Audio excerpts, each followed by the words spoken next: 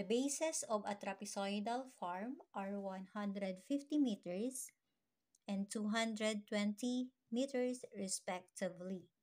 If the height is 90 meters, what is the area of the farm in hectares?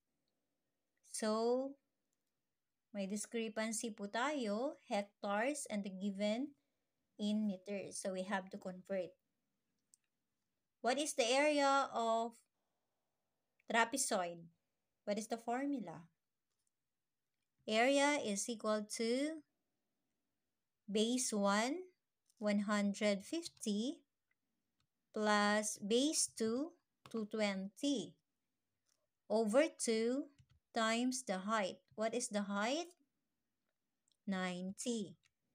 So, 16,650 meters squared or square meters. How many square meters are there in a hectare? There is 10,000. So we have to divide it by 10,000. And the answer is 1.665, letter B.